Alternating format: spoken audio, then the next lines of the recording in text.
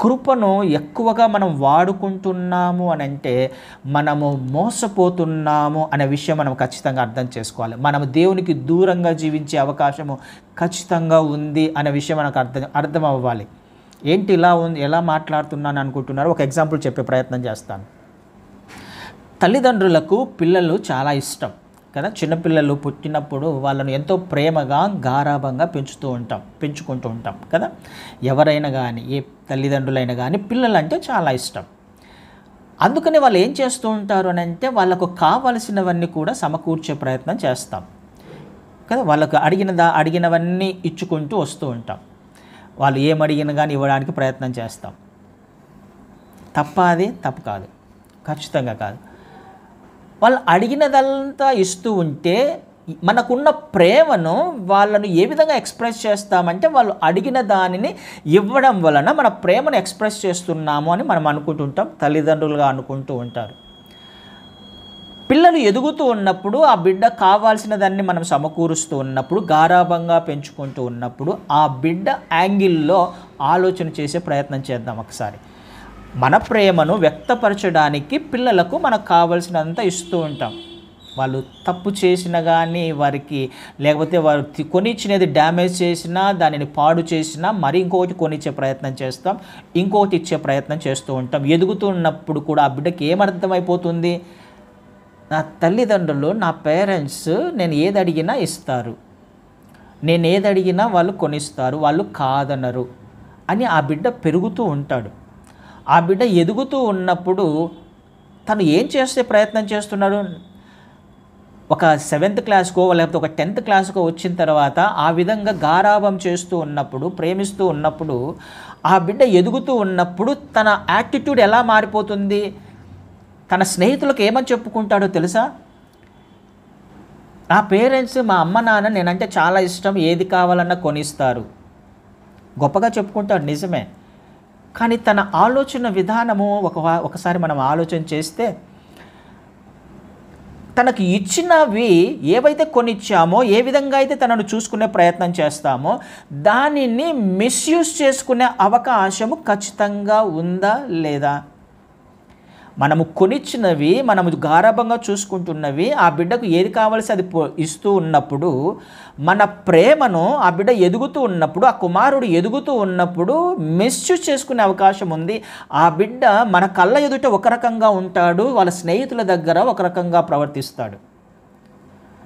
ఆ బిడ్డ బయటికి వెళ్ళిన తర్వాత ఆలోచన విధానం వేరుగా ఉంటుంది. దానిని తప్పిపోయే అవకాశం ఉంది. మనం ఇచ్చినవి మనం ఇచ్చిన లీనియస్ని మనం చూపిస్తున్న ప్రేమని ఆ బిడ్డ తప్పుగా తీసుకునే అవకాశం ఉంది.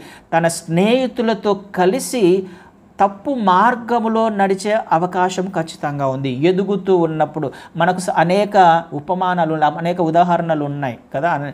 మనం చూస్తూ ఉన్నాం ఆ అజరుద్దీన్ కానీ లేకపోతే బాబు మోహన్ లేకపోతే చాలా పెద్ద పెద్ద వాళ్ళు తమ పిల్లలని ఎలా పెంచుతారు? గారాభముగా వెహికల్స్ కార్లు బైక్లు కొనిస్తూ ఏమైపోయారు వాళ్ళు? వాళ్ళ ప్రేమ వాళ్ళకి ఏమైపోయింది అలుసుగా తీసుకున్నారు.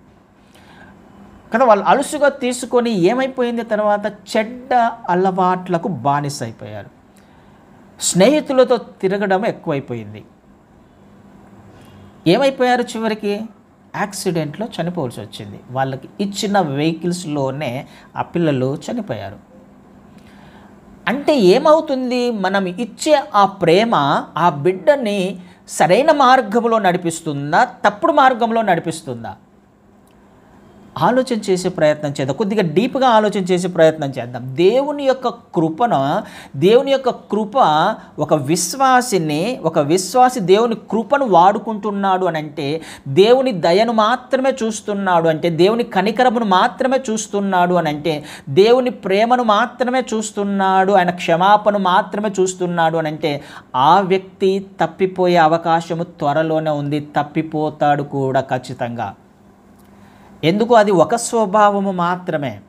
ఆయన ప్రేమను అలుసుగా తీసుకున్నట్లయితే ఈ కృప మనిషిని తప్పుడు దారిలో లేకపోతే దేవునికి దూరంగా జీవించే జీవించేలా చేసే అవకాశం ఉంది. ఏ విధంగా అయితే తల్లిదండ్రులు కుమారుణ్ణి గారాభంగా పెంచుతున్నప్పుడు ఆ బిడ్డ తప్పిపోయి జీవించే అవకాశం ఎక్కువగా ఉందో ప్రేమను అలుసుగా తీసుకొని ఇష్టానుసారంగా జీవించే అవకాశం ఏ విధంగా ఎక్కువ శాతం ఉందో ఖచ్చితంగా ఉంది కదండి. ఆలోచన చేసే గ- కుమారుని గద్దించకుండా సరిచేయకుండా చిన్నప్పుడే సరైన మార్గంలో నడిపించకుండా తప్పులు చేస్తున్నా సమర్థిస్తూ వస్తున్నాము అని అంటే ఆ బిడ్డను తప్పుడు మార్గములో వారి తల్లిదండ్రుల ప్రేమ నడిపిస్తుంది అనడంలో ఎలాంటి సందేహం లేదు. ఆలోచన చేసే ప్రయత్నం చేద్దాం. కృపను నేను వాడుకుంటున్నాను అని అంటే ఆ కృప నన్ను వేరే మార్గంలో తీసుకువెళ్తుంది. దేవుని యొక్క కృప నన్ను వేరే మార్గంలో తీసుకువెళ్తుంది. దేవునికి దూరంగా జీవించేలా చేస్తుంది. ఎక్కువగా వాడుకుంటున్నానంటే. అందుకనే ఆయన స్వభావం ఏంటో మనకు అర్థం అవ్వాలి ఆయన లక్షణాలు ఏంటో మనకు అర్థం అవ్వాలి దేవుని యొక్క క్యారెక్టర్ ఏంటో మనకు అర్థం అవ్వాలి ఒక వైపు మాత్రమే కాదు రెండవ వైపు లక్షణం కూడా ఆయన స్వభావము ఉంది అనే విషయము మనకు అర్థం అవ్వాలి అని నేను ఒక్కసారి ఈ విషయం మళ్ళీ మళ్ళీ జ్ఞాపకం చేయడానికి ప్రయత్నం చేస్తున్నాను